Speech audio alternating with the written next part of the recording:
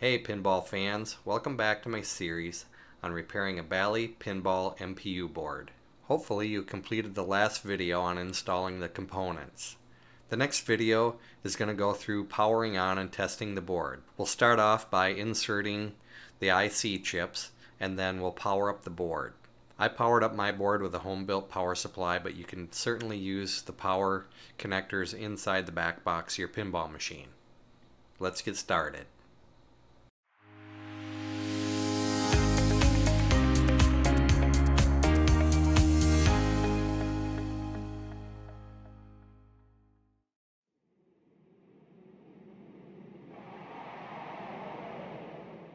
This is the testing phase. First of all, make sure you are protected from ESD by wearing your wrist strap. Perform a continuity check on all of the connections on the U8 socket.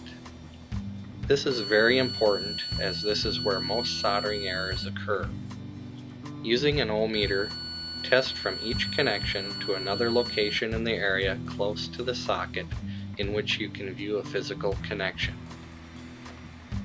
Now let's start installing the ICs.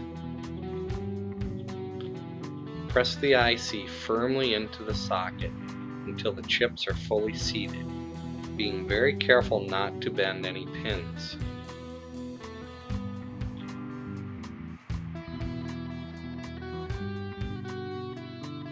To test the board we need power. I have made a power source by using an old computer power supply. If this is not available, you will need to use power from the back box on your pinball machine. Apply power and watch for a sequence of LED flashes. In this case, the light comes on steady when power is applied. This is not a good sign. Turn the power off. Let's start by removing the ICs we just installed, but leave U6, U9, and U11 plugged in.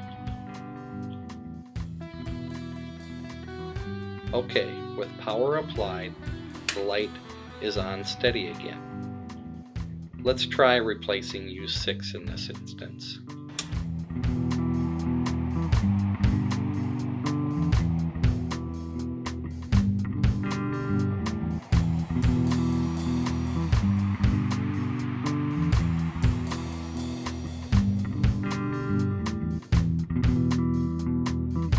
We have our new U6 in place, and we now get a flicker of the LED with power applied. We are expecting to see a flicker and then seven flashes of the LED. Install the rest of the ICs again now that we have the first flicker.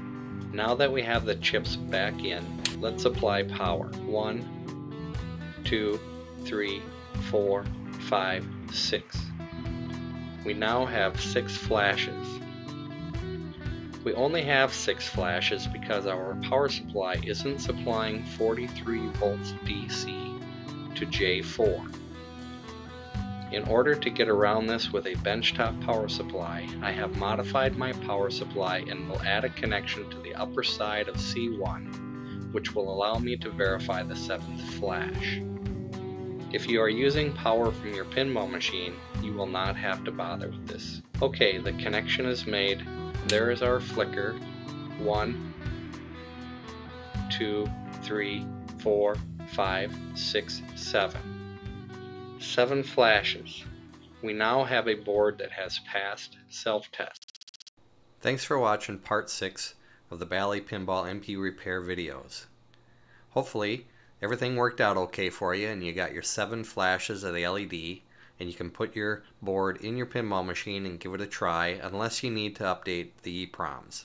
The next video will cover jumper settings where we uninstall the chips and upgrade the jumpers so they'll work with 2732 EPROMs. Once again thanks and please share and like my video. Have a great day.